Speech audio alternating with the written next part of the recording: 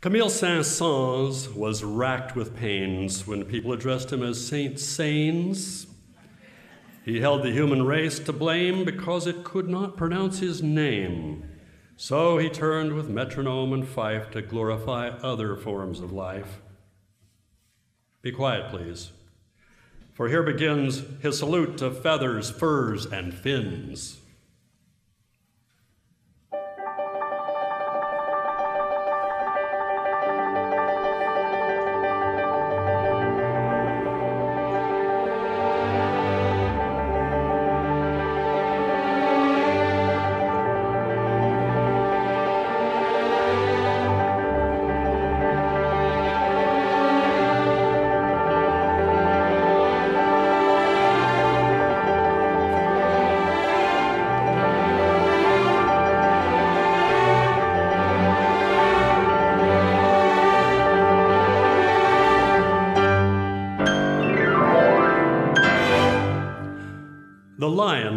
Is the king of beasts and husband of the lioness. Gazelles and things on which he feasts address him as your highness. There are those who admire that roar of his in the African jungles and velds, but I think wherever a lion is, I'd rather be someplace else.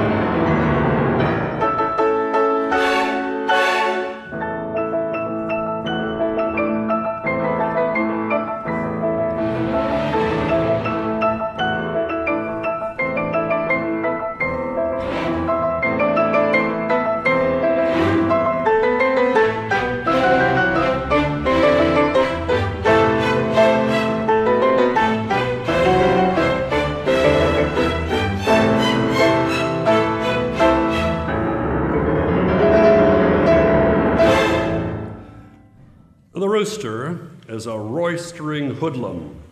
His battle cry is cockadoodlum. Hands in pockets, cap over eye, he whistles at pullets passing by.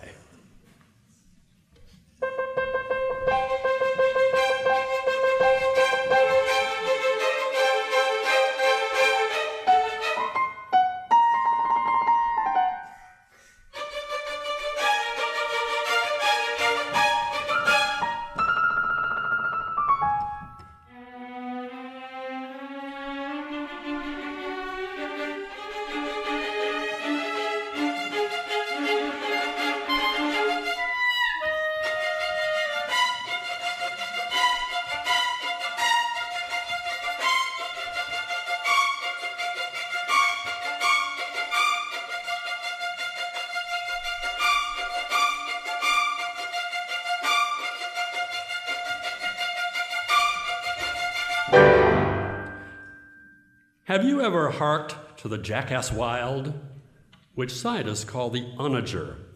It sounds like the laugh of an idiot child or a hepcat on a harmonager. But do not sneer at the jackass wild, there is method in his hee haw. For with maidenly blush and accent mild, the Jenny ass answers she haw.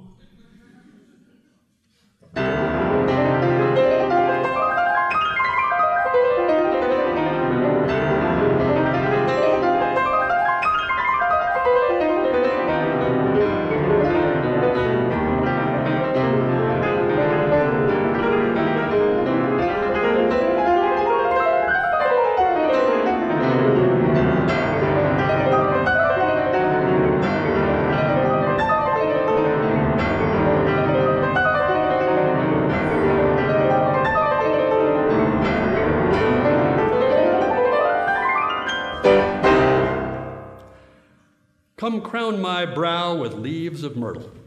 I know the tortoise is a turtle. Come carve my name in stone immortal. I know the tortoise is a turtle. I know to my profound despair I bet on one to beat a hare. I also know I'm now a pauper because of its turtly, turtly torpor.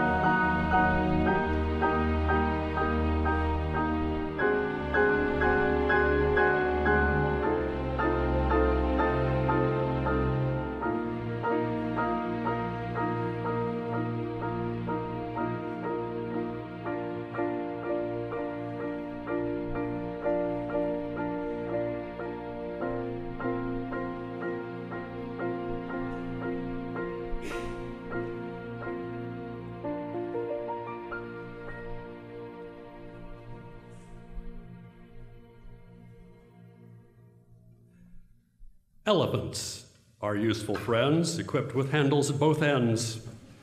They have a wrinkled moth proof hide. Their teeth are upside down, outside. If you think the elephant preposterous, you've probably never seen a rhinoceros.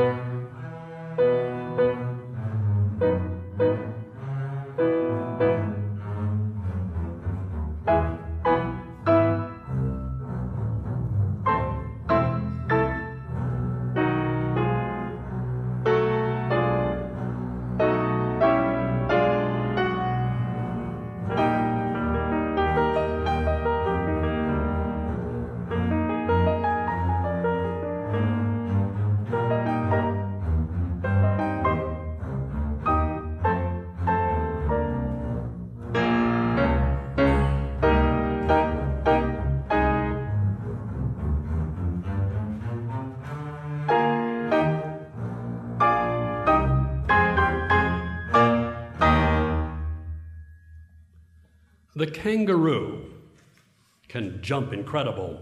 He has to jump because he's edible. I could not eat a kangaroo, but many fine Australians do. Those with cookbooks as well as boomerangs prefer him in tasty kangaroo meringues.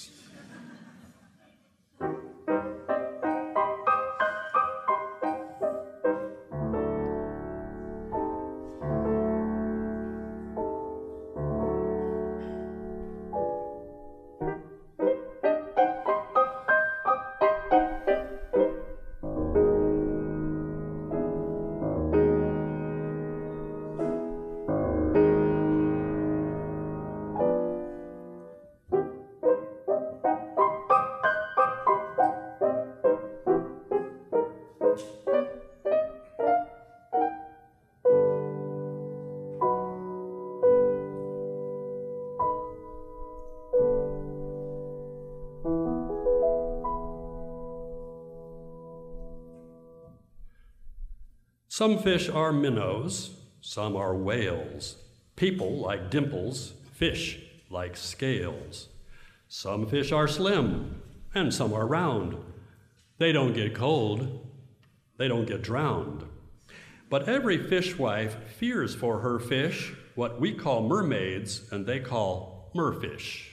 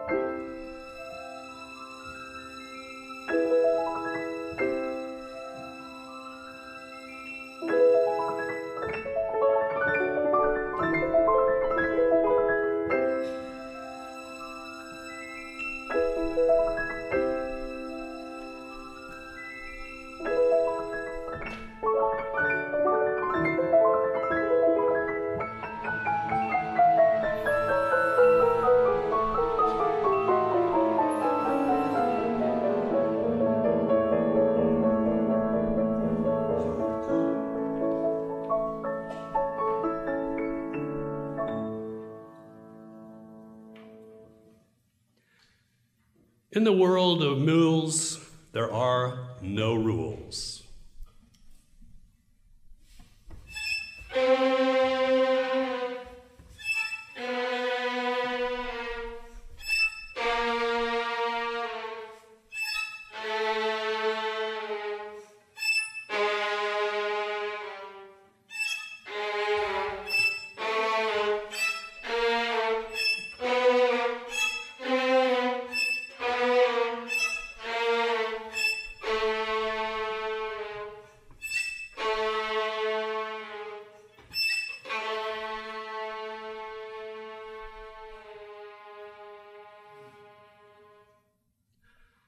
Cuckoos lead bohemian lives.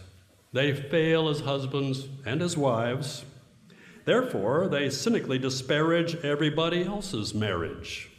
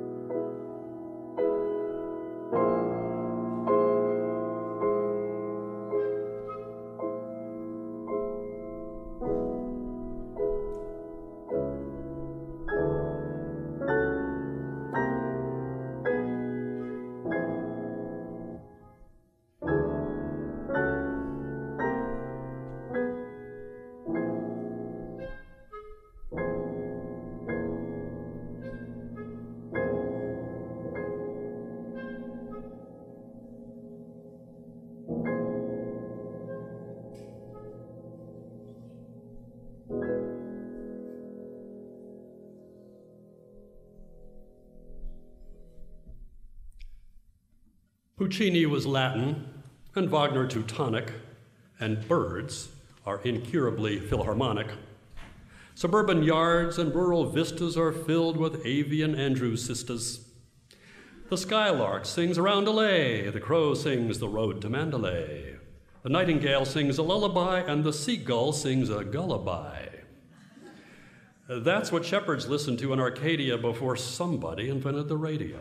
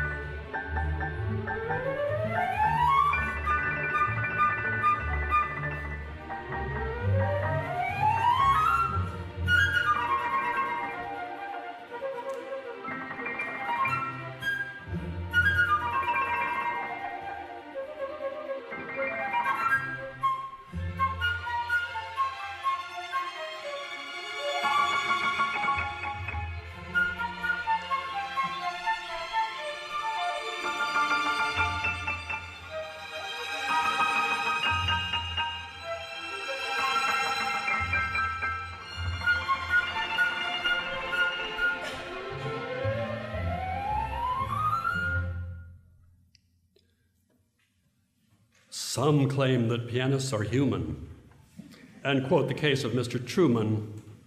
Saint-Saëns, upon the other hand, considered them a scurvy band. Ape like they are, he said and simian instead of normal men and women.